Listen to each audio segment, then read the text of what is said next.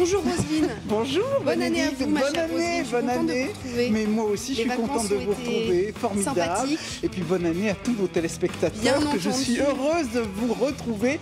Et je suis heureuse de retrouver Hugo Bernalicis, que je reçois pour la troisième fois en trois mois. On lasse C'est dire que vous avez des choses à débattre. Voilà, On exactement. vous a toujours pas mis d'accord alors. Oh ben non, on n'est pas d'accord, mais ça c'est le charme de la chose. Hugo Bernalicis qui nous rejoint. Hugo Bernalicis. Bonjour à vous. bonjour. Et bonne année à Et vous, bonne, Hugo année- bonne. Année à vous. Meilleurs vœux. Tous nos voeux. Alors, on commence par quoi On va commencer par la grève Ah bah Alors, je veux quand même dire un mot d'Hugo Bernalicis, parce que même si c'est là une star pour moi, il ne l'est peut-être pas pour tous nos téléspectateurs. Ah, C'est un des plus jeunes députés de France. Il est député de la deuxième circonscription du Nord. Il est inscrit au groupe de la France Insoumise.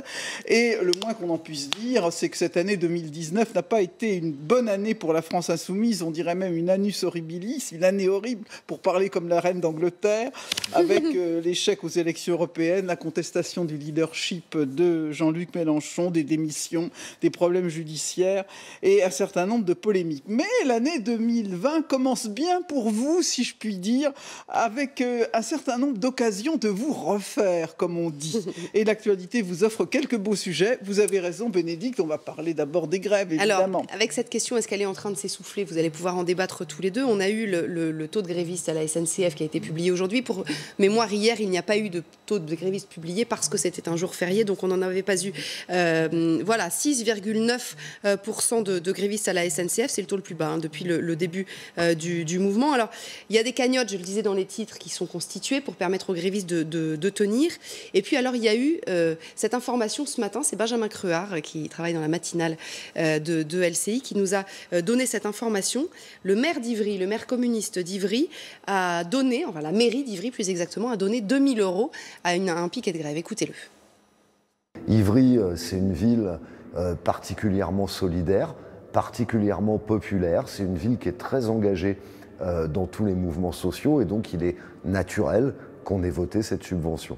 Le budget de fonctionnement de la commune, il doit être d'environ, je crois, de peut-être 130 millions d'euros quand on comptabilise tout. Donc vous voyez, 2000 euros, c'est très symbolique finalement. C'est court. Allons-y. Ah oui, alors bah, écoutez d'abord votre réaction, parce que euh, c'est sur cette cagnotte, euh, avant de passer au fond du sujet, euh, cagnotte illégale. euh, les ch- les- le, droit le dit clairement, on n'a pas le droit de, de faire des, des choses comme ça avec l'argent du contribuable.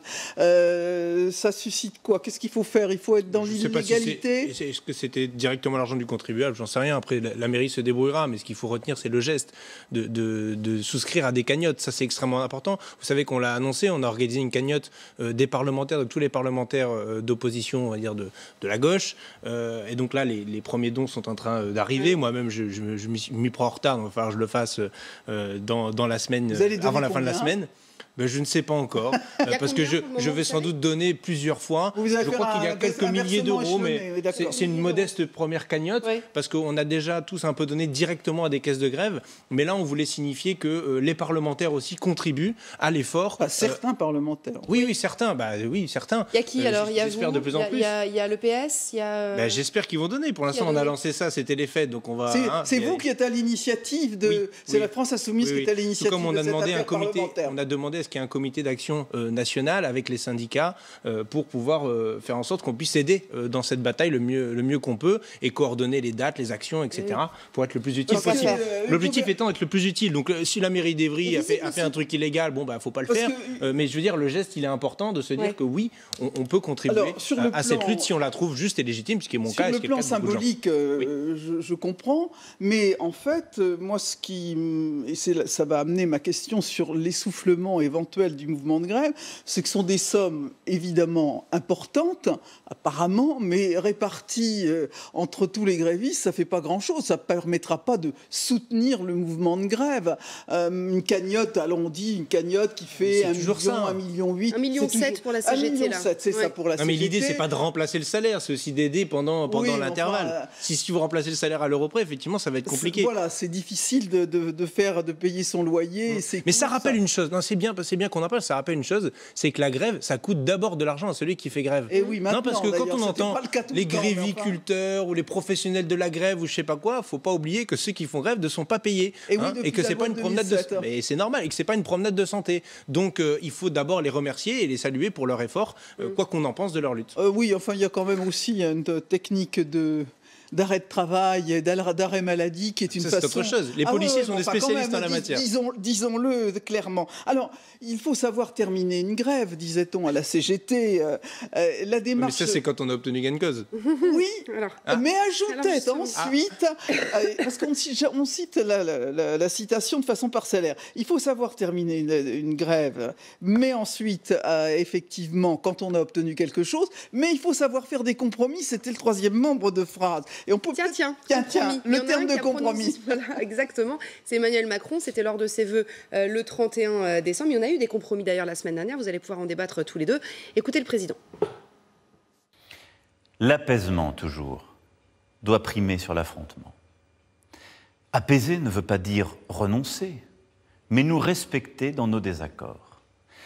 Ma seule boussole est et sera l'intérêt de notre pays notre capacité à assurer la meilleure retraite possible à nos aînés, la défense de ceux qui n'ont pas toujours la faculté de s'exprimer, c'est-à-dire nos enfants. C'est pourquoi, pour vous, avec les organisations syndicales et patronales qui le veulent, j'attends du gouvernement d'Édouard Philippe qu'il trouve la voie d'un compromis rapide. Alors, on, on, a le sentiment que dans le monde syndical, il y a des gens qui sont prêts à faire des compromis. On a entendu hier M.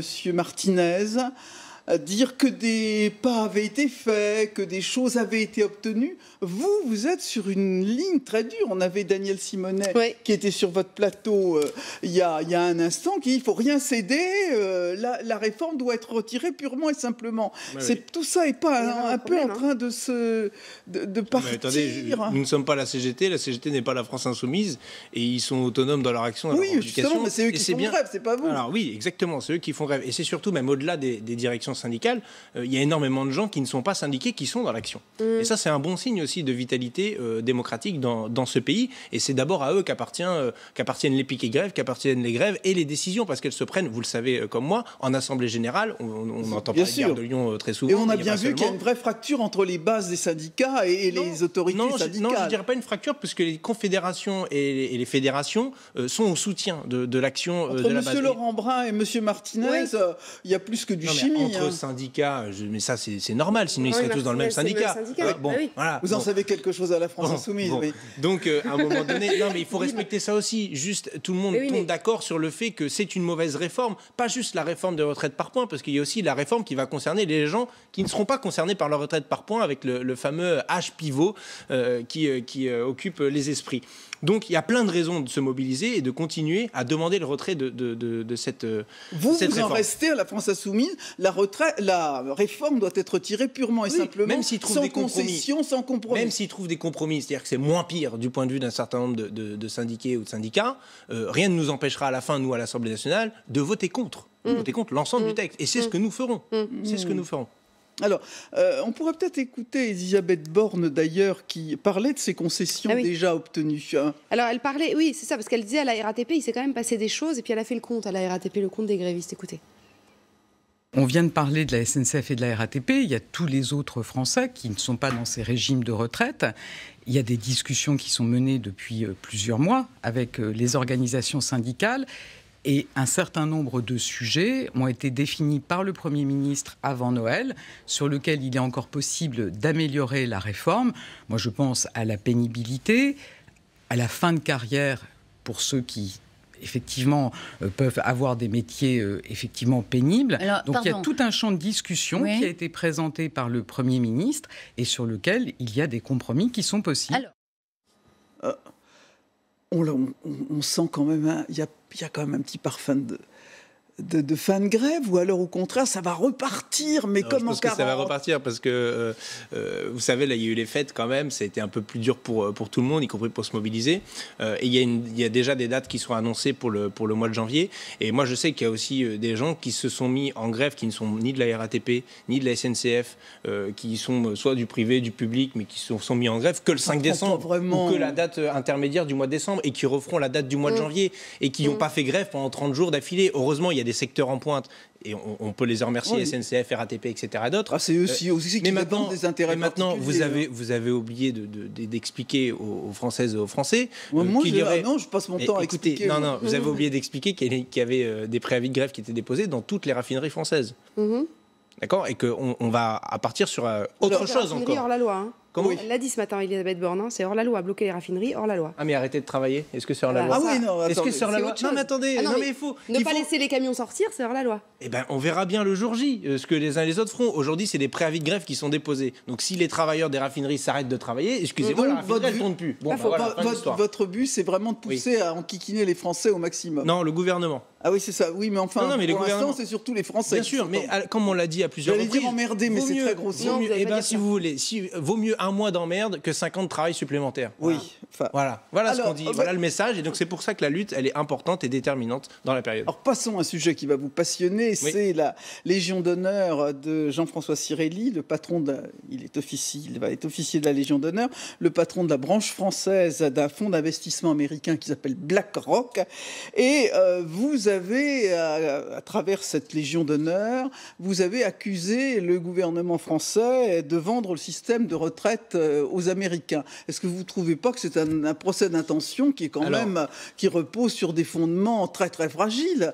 J'ai je, regardé dans la réforme des retraites s'il y avait le moindre fumet euh, de hmm. vendre le système français de répartition à des fonds américains. Je ne l'ai pas trouvé, mais peut-être trouvez-vous que je suis d'une coupable bienveillance. Non, je n'irai pas jusque-là quand même. Euh, non, mais pour reprendre les éléments euh, qui concernent BlackRock. BlackRock ne gère pas des retraites directement. C'est ce qu'ils ah ont mis dans leur communiqué de presse et personne n'en dit ce qu'on vient. Ils gèrent des actifs. Donc des gens qui mmh. ont du pognon à placer. Mmh. Pour en faire plus. Et dans ces actifs, l'essentiel des actifs qu'ils gèrent, ce sont des fonds de pension. D'accord? Ce sont des, des, fonds de pension qui font de l'épargne retraite. OK? Voilà. Donc, BlackRock a intérêt, Surtout pour les Américains, hein. a intérêt pour le compte de ses actifs.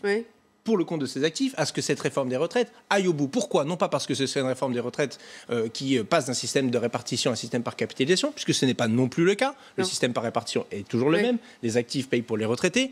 Néanmoins, comme vous savez qu'avec cette retraite par points, vous aurez entre 15, 20, 25% de retraite en moins par rapport à la situation actuelle des gens. Mais si, mais si, et je maintiens, et je martèle, et je, et je, je, signe. Ben à la fin, les gens, les gens seront poussés à faire de la retraite par capitalisation. Et en plus, ça commencera par les plus hauts salaires. Parce qu'il y a quelque chose de pervers. On nous a dit au-dessus de 10 000 euros par mois, les cadres, les, les, ceux qui sont les mieux payés dans ce pays, paieront une surcotisation et qui ne permettra de donner un minimum contributif. Oui, c'est ça, qui n'aura pas de droit ça n'ouvre pas, de droit. Ok. Mm. Sauf que qu'est-ce qu'on a voté dans la loi Pacte mm.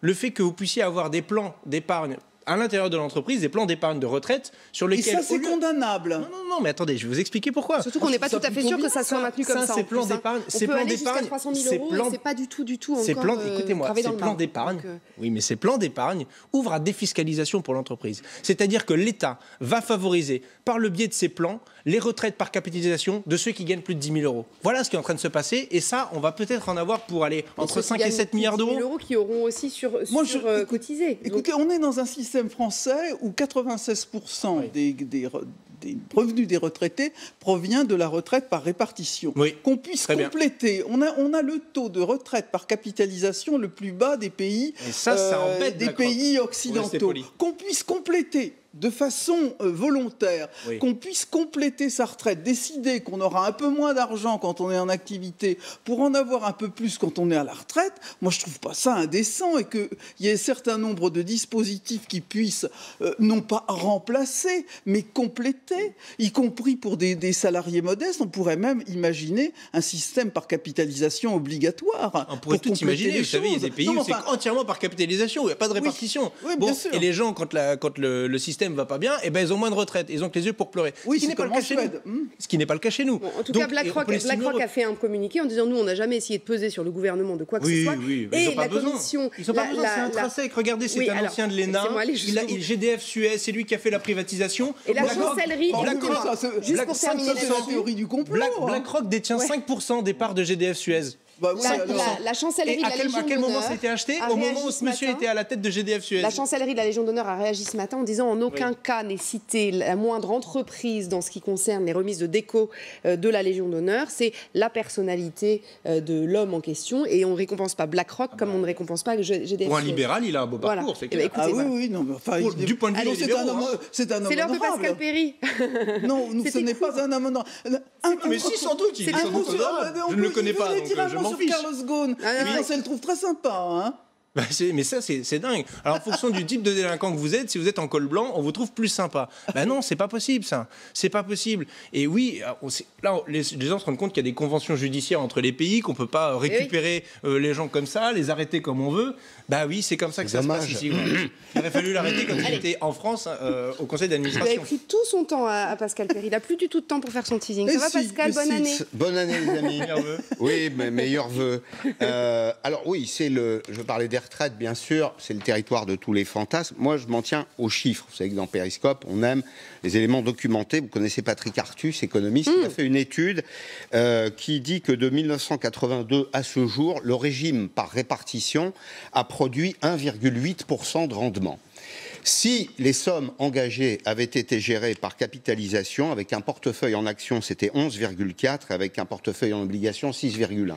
Je pense finalement que BlackRock gère beaucoup mieux que la CGT. Et donc, je fais plus confiance à BlackRock. Ben voilà, c'est paritaire. Le c'est paritaire. Hugo Bernardini, ce que je vous suggère... Hein. Je vous suggère d'aller vous... Non, mais vous pourriez mettre le MEDEF dans le Je vous suggère d'aller vous mettre dans le salon des invités et d'écouter l'émission de Pascal Perry dans une seconde.